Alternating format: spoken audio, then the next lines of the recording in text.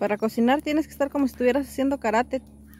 Porque si se te avienta un flamazo, te haces para atrás. Yo te voy a quemar la tortilla. La otra, volteala a la otra, que le está, la, la que le está pegando más, sí.